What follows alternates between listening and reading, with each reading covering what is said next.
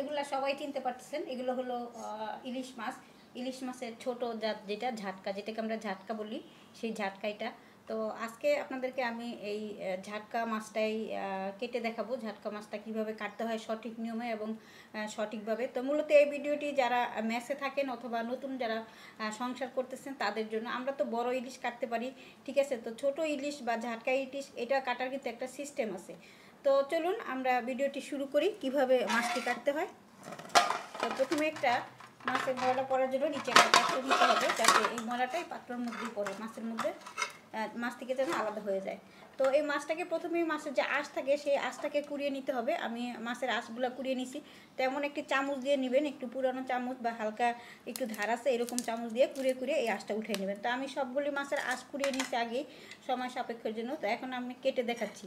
তো এই আঁশগুলি কাটার পরে যারা বটি ইউজ করতে পারেন না দাঁড়ায় কাজ করেন, তারা এই কেচির সাহায্যে কাটবেন। কেচি দিয়ে এই মাছের যে অবশিষ্ট অংশগুলো ফেলে দিতে হয়, সেগুলো এরকম ফেলে দিবেন। ঠিক আছে? এই যে অনেক কিছু এরকম কাটা যায়, কেচি দিয়ে, এই কেচি দিয়ে কাটবেন। আর যারা কেচি দিয়ে না কাটেন, বটি দিয়ে ইউজ করতে পারেন, তারা বটি দিয়ে ইউজ করবেন। তবে দুইটা সিস্টেমই দেখালাম আপনার কাছে যেটা ভালো লাগে সেটা দিয়ে আপনি কাটবেন। তো অনেকে আসে বসে কাজ করতে পারে, অনেকে আসে দাঁড়িয়ে কাজ করতে পারে সেই জন্য আর কি কেচিটা দেখানো। তো আমরা মাথাটা কেটে নিচ্ছি, ঠিক আছে? মাছের যেই মাথাটা আছে, মাথাটা, এই মাথাটা কিন্তু নর্মালি আমরা এখান থেকে কাটি, কিন্তু এটা একটু বেশি করে কাটবো। যেহেতু এটা মাছটা ছোট এই একটু এটা বেশি করে কাটতে হবে, ঠিক আছে? বিসমিল্লাহ। আস্তে করে টান দিলে এই ইয়াটা বেরিয়ে আসবে। বাস, হয়ে গেল আমার মাথাটা কাটা। মাছ থেকে আলাদা করা হয়ে গেল। এখন আমি লেজাটা কেটে নেব, ঠিক আছে? এই লেজাটা আমি, এই যে এইখানের যে মাপটা আছে, এই যে এই মাপটা এই মাপটা আছে, এইখান থেকে এইখান থেকে কাটিয়ে নেব।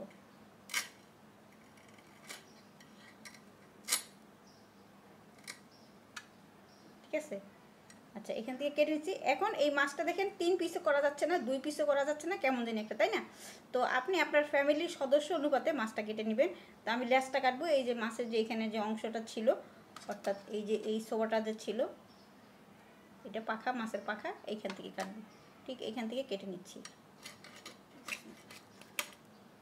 হয়ে গেছে। ঠিক আছে? লেজার অংশ আমার কাটা হয়ে গেছে। তো এবার হচ্ছে মাছ। এখন আপনি এই মাছটাকে এতটুকুই রাখবেন। এটা যদি আপনি মাঝখানটা কাটতে যান, তাহলে দেখেন কি ছোট হয়ে যায়। এই যে, কি ছোট হয়ে গেছে।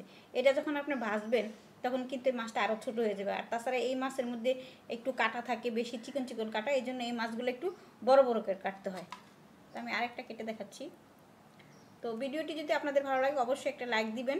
শেয়ার দিবেন। আর যারা সাবস্ক্রাইব করছেন, তাদেরকে অসংখ্য অসংখ্য ধন্যবাদ। আর যারা এখনও সাবস্ক্রাইব করেনি প্লিজ আমার চ্যানেলটি সাবস্ক্রাইব করবেন।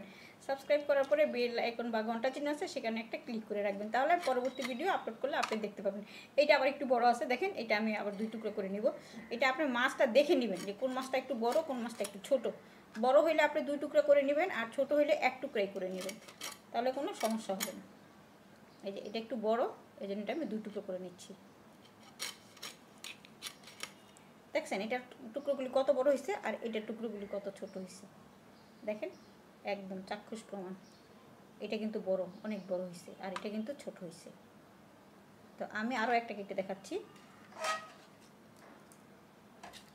এই যে এটা একটু ছোট, এটা আমি মাঝখানের অংশটা এক টুকরোই করব।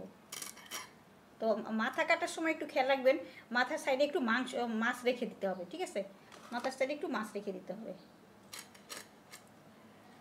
আমি কিন্তু তাড়াহুড়ো করে দেখাচ্ছি, আপনারা কিন্তু ফ্রেশ করে কাটবেন। এই সাইডগুলি কিন্তু কেটে নেবেন, এই যে এগুলো কিন্তু ফেলে দিতে হয়, এগুলো কিন্তু ফেলে দিতে হয়।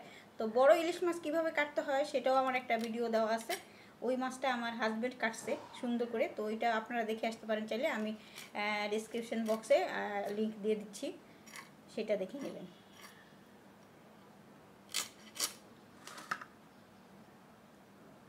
এটা যে ছোট, এটা আমি এক টুকরাই করব, ঠিক আছে?